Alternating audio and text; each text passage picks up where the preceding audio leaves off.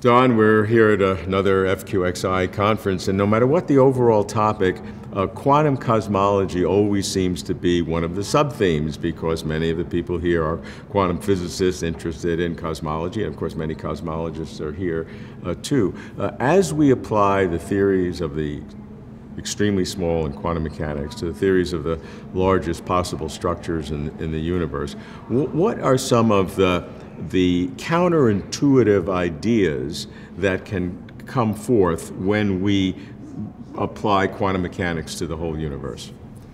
Yes, well, what, normally we apply quantum mechanics to things that are very small, and the universe is very big, mm -hmm. but we do believe that it, at least at some level of approximation, the universe was once much smaller than it is today. In fact, sufficiently small that quantum mechanics would have been important in it.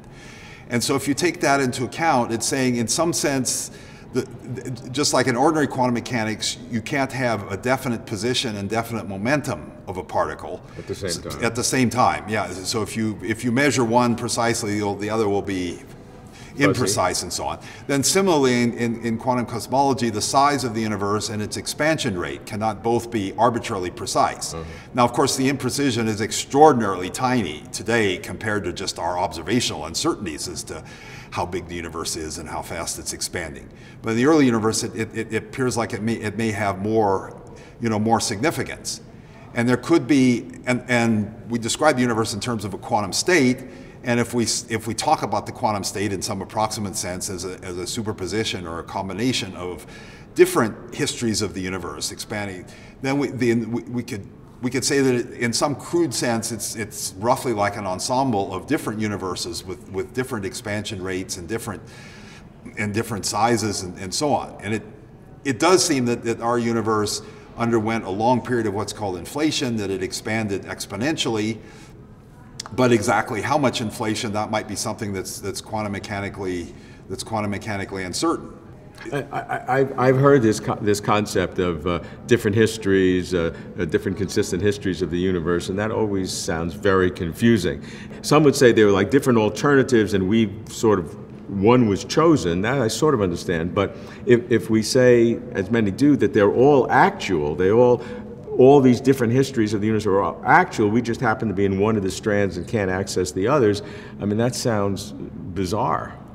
I think that's what I more or less believe in. I, I, I don't believe in collapse of what's called collapse of the wave function down to a single history. I do, I do believe that all of the histories are real.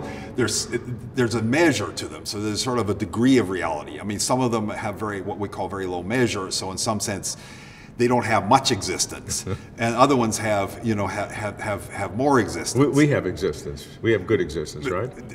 Well, it's it's not. I mean, of course, for us, we, I believe that we're selected out by our, our, our consciousness, and so it could be if you if you just looked at the whole universe without focusing on consciousness, yeah. it could be that it's a very tiny part of the wave function that has consciousness.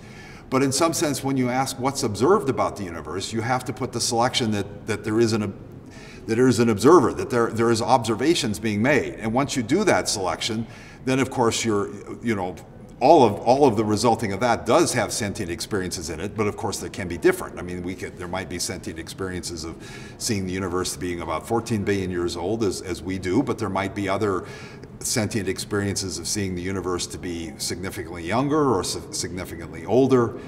I mean, some people postulate that there might be Boltzmann brains that well, that they might they might exist, which when in a certain sense the universe is far older than it is today. Although most Boltzmann brains would probably not it know just pops age. into existence and then pops out of existence, and for that time in existence, you don't know the difference between if it's real or not, or yeah, yeah. So they, I mean, it's that that there are problems with Boltzmann brains that we, we, we would like to find theories in which they don't that their contribution is very small compared to ordinary sentient observers uh, ordinary observers like we us. just take the universe as out there in the third party sense. Right. And we have all these different consistent histories right. because of quantum cosmology, because the whole thing was a quantum state. Right. Um, uh, and then how does the state, we think we're in a single state, we, we don't have any alternatives, we don't see any alternatives. Right.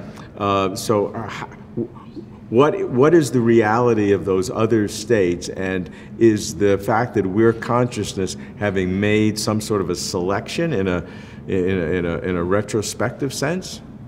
Well, I think it, it, would have made a selection to the set that do have sentient observers, but I would believe that even that set is very huge. That there's there's other there's other sets in which the universe is behaving, you know, significantly differently, but there are sentient observers there. I mean, so it's I, I don't see a problem of there being other sentient observers in these other branches any more than I see a problem that I very strongly believe that you are having a sentient experience, and I, and I know from experience that that I am, although I nothing I say could could logically persuade you that that's the case because you know you from your point of view I, I might be you might think I'm just a zombie.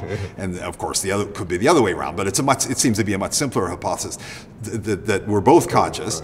And and because there's a multitude of different sentient experiences on Earth it's it's numerically of course a huge extrapolation to have vastly more of them if you had if you had a big uh, another number of different histories, what you might call an Everett multiverse, a number of, whole, of different histories of the universe. It, it, it produces a, a, you know, a large number of other things, but it's, in some sense, it's maybe not qualitatively enormously different from the, just the large number of sentient observers that we have. When you're saying large, what do you mean by large? Uh, how many is large? Well, we don't really know. I mean, eternal inflation suggests infinitely many. No, sure, but those are those are those are whole universes or pocket universes, right. universes. Now, so for sentient experiment, I don't know. I mean, I, I, I, suppose I do tend to think that that most probably there's an infinite number of different possible sentient experiences, but maybe you know probably there's I don't, this is highly guesswork, but you might say that maybe most of the probability or most of the measure is for some finite set of those. I mean, that, that's plausible, but we I, I, can't say I have any evidence, you know, for it or against it. But if it were a finite number, I think it would, you know, I do think it would be utterly huge. I mean, Suppose I said 10 to the 100, one followed by 100 zeros after it. Now, I'm not saying it is that at all. Now, it's probably far bigger, but right now I, That's I can't. Probably the exponent. yeah, that might be. Yeah, yeah, it might, it might, it might be the, it might be the exponent of that. I don't know exactly even how many sentient experiences there are. But, but, but the, the point is that quantum theory have given us this just enormous. Uh, uh, universal possibilities that we've never imagined before. Right, right. Yeah, it gives us, yeah, quantum theory deals with an enormous number of possibilities, and in the in the Everett view of no collapse, we say that they're that they're all real, and so it says that reality is enormously bigger than what we'd previously thought.